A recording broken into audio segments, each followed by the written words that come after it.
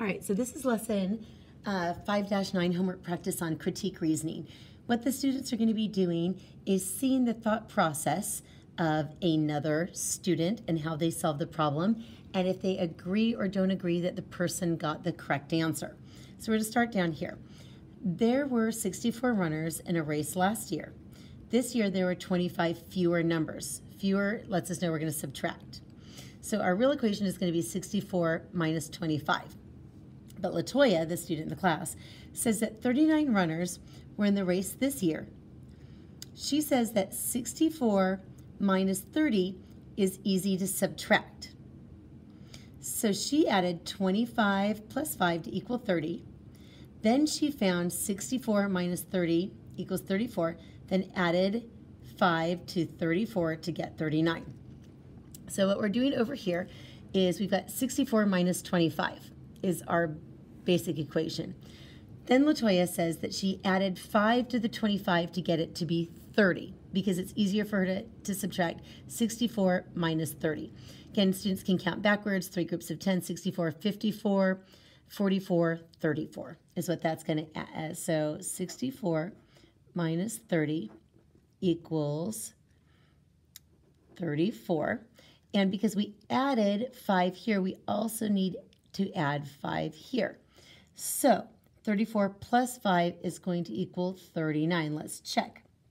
She said she got 39 and she added the 5 to the 34 here. We did all the same process. So we're going to hit agree, that we do agree with how she did it. We're just taking a look at their reasoning. Again, there's more than one way to do it, but we're just taking a look at the way the sample students have done it. Landing planes. Uh, Louise says the number of landings in the afternoon in the afternoon, equals the number of landings in the morning and evening. So our morning and evening will be the same amount as the ones in the afternoon. Do you agree with Louise? So the first thing we need to do, what do you know? What do you need to know? So what do we know? And what do we need to know?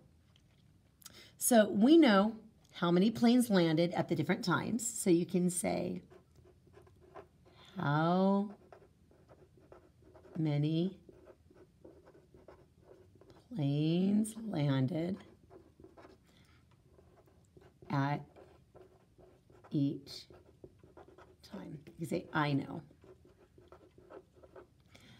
I need to find out if 74 equals 38 plus 36. So I need to find out if 74, because I'm going to put an A for afternoon equals 36 M for morning plus 38 E for evening. So what they're basically saying is that afternoon equals morning plus evening.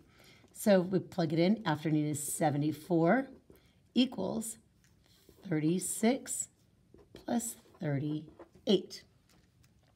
So now it says use pictures, words, or equations to explain if Louise's thinking is correct. So we want to see if 36 plus 38 equals 74. So we could do 38 plus 36 the students can do it any way that they'd like to.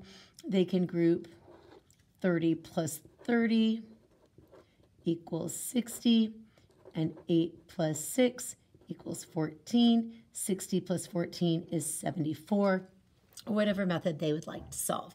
So it is correct. And if they want to write a sentence at the end, they can say, yes, he is correct.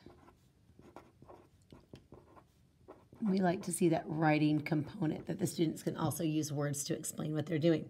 Okay, number four. Louise got his answer by finding 74 minus 38 equals 36. Now that's different than how we did it. Now there's a ton of different ways that it could be done. But for this one, I was just thinking with the equation I made, that's how I could do it. But look at his equation's different. He starts with his afternoon. He subtracts the evening of 38 and he says that the morning is 36. Do you agree? So let's take a look at this. Do we agree with him on how he did it? So does 74 minus 38, and again, the students can do it however they would like to, equal 36. So they can go through and use number lines. They can break it up in our old style that we do, minus 38. They can separate that into 30 and 8 and go through, and they will find that it is correct that he is correct in his way of doing that.